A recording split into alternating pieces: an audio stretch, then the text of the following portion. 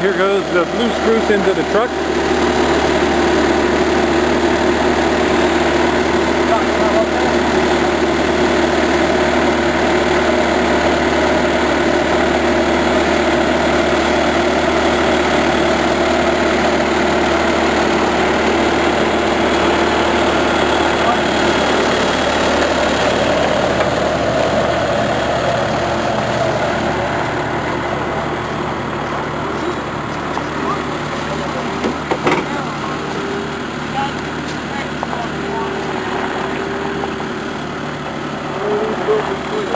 He's getting two.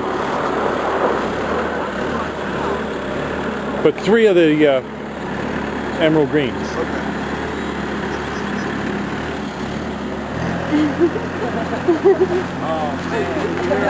Don't say it because you're going to be on YouTube. That's how I make my money.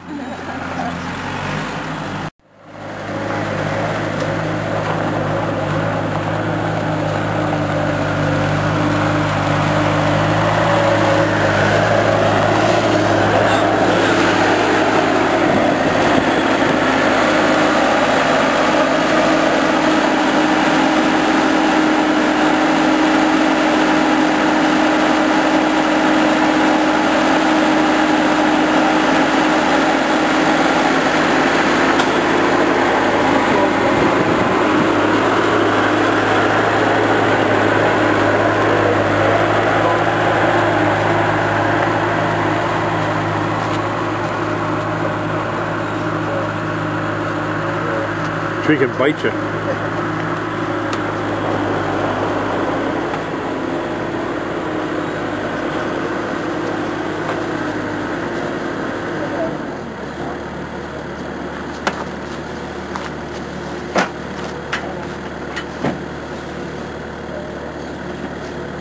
Where's it going to get planted?